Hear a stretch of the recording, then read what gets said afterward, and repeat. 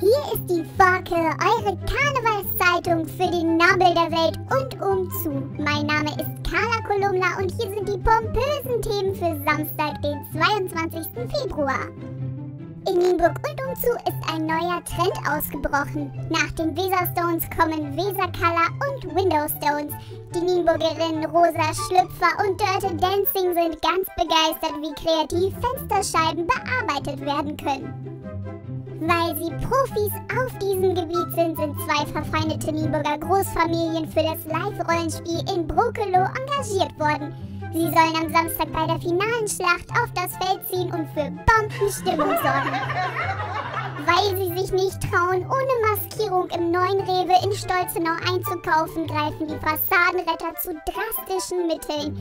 Die Mission unerkannt lief jedoch fast erfolgreich, aber ohne große Ausbeute zum Sport. Im langwierigen Verfahren rund um den Kunstrasenplatz des SVB Isteinke droht nun eine überraschende Wende. In Rücksprache mit der Kreis- sowie der Samtgemeindeverwaltung habe man sich nun darauf geeinigt, den Kunstrasenplatz am aktuellen Standort abzubauen und zu verlegen. Die Kunstrasenelemente sollen auf dem Steinke A-Platz aufgetragen werden. Nicht überraschend hat der derzeitige Zweitligist Hannover 96 Felix Wolf und Christian Zerfowski vom TSV Wechhold Maggelsen unter Vertrag genommen. Die beiden E-Sportler hatten zuvor bei der NFV Niedersachsen-Meisterschaft in der Swiss Life Hall in Hannover mit dem vierten Platz auf sich aufmerksam gemacht. Diese und viele weitere Themen gibt's morgen in der besten Zeitung der Welt, der Forke, zu lesen.